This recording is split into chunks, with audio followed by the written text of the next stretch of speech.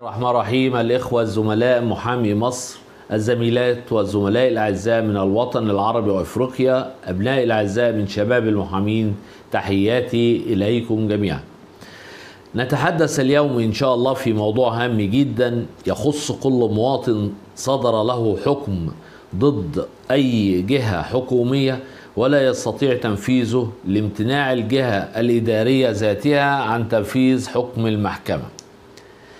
ماذا تفعل؟ وهل حكم المحكمة الذي تعذبت حتى حصلت عليه أصبح مجرد حبر على ورق؟ وذلك ما سنتناوله في حلقة اليوم إن شاء الله في جنحة الامتناع عن تنفيذ حكم. وكما تعودنا في حلقاتنا نتناول مفهوم حلقة اليوم. حيث تدور في إطار مصلحة مواطن صدر لمصلحة حكم محكمة أو أمر قضائي لمصلحته ضد جهة إدارية أو حكومية يقاضيها أو يختصمها لتنفيذ مصلحته وتمتنع تلك الجهة عن التنفيذ. وفي ذلك نقول أن المادة 123 عقوبات في فقرتها الثانية تنص على أنه كذلك يعاقب بالحبس والعزل كل موظف عمومي امتنع عمدا عن تنفيذ حكم أو أمر مما ذكر بعد مضي ثمانية أيام من إنذاره على يد محضر إذا كان الحكم أو الأمر داخلا في اختصاص الموظف. والمادة 123 في فقرتها الثانية زي ما قريته كده واضحة طبعا الفقرة الأولى بتتكلم عن نفس كمالة المادة اللي هي إيه؟ الحبس والعزل الموظف العام إذا تعمد تعطيل تنفيذ حكم أو أمر صدر المحكمة.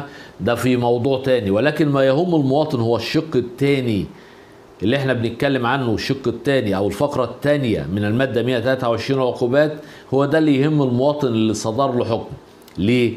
لأنه مش معقول بعد سعيه ولفه على المحاكم ورفع قضية وكيل محامي وله مصلحة وله حق بيطالب بيه هيصبح الحكم بتاعه مجرد حبر على ورق. وطبعا أحكام القضاء تحترم من جميع السلطات مهما علت لابد أن تحترم أحكام القضاء وتنفذ أيضا. وفي هذا الإطار تحدثت المادة 123 فقرة 2 من قانون العقوبات وألزمت كل موظف عام بتنفيذ حكم أو أمر صادر من المحكمة وذلك في خلال إنذار الجهة أو إعلانها بالحكم أو الأمر في خلال 8 أيام. يعني الثمان أيام دول بالنسبة للجهة الإدارية اللي صدر ضدها الحكم أو الأمر مدة سقوط. لو سقطت الثمان أيام وما نفذتش من حق المواطن إنه يرفع جنحة الامتناع عن تنفيذ حكم محكمة.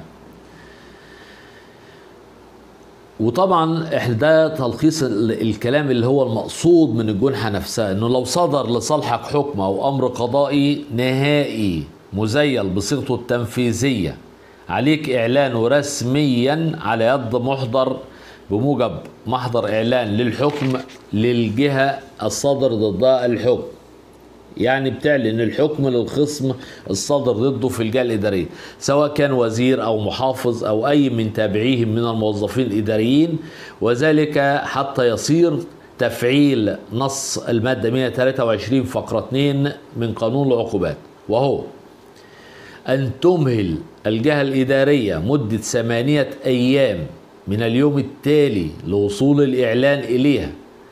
وحكمة المشرع في الثمان أيام إيه؟ ده حسب رؤيتي الشخصية كمان. حكمة المشرع واضحة في إنه لا يكون اليوم الأخير فيها يوم جمعة يوم أجازة رسمي عشان يبقى قدام الجهة الإدارية الفرصة حتى لو في آخر يوم يكون يوم عمل تنفذ فيه حكم المحكمة أو الأمر الصادر إليها. وبعد انتهاء مهلة الثمان أيام إذا لم تنفذ الجهة الصادر ضدها الحكم أو القرار يحق لك الآتي.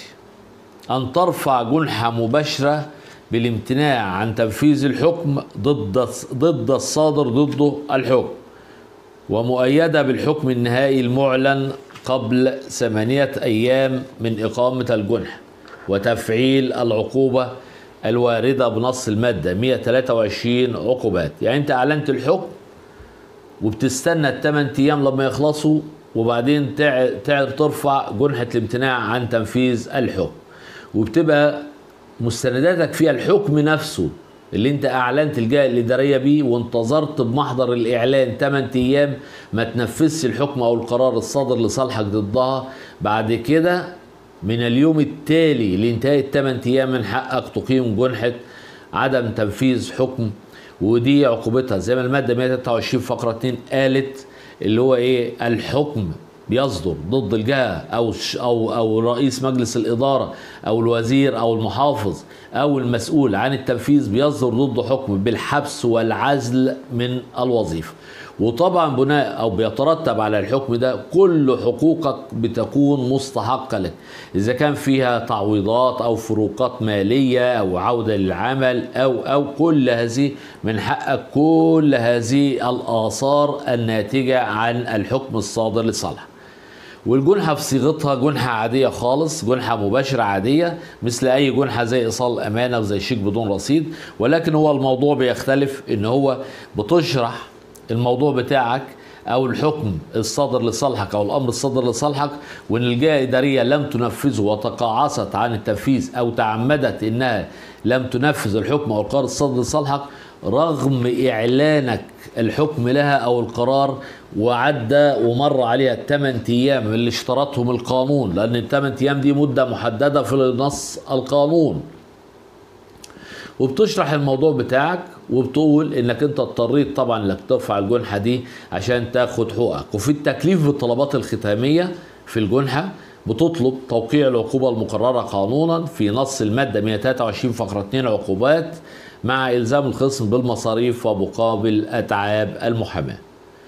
وبكده أعزائي النهارده نكون تناولنا موضوع هام وهو جنحة الامتناع عن تنفيذ حكم التي قرر فيها القانون مدى قدسية أحكام القضاء وأنها ليست حبرا على ورق وإجبار الحاكم والمحكوم على احترامها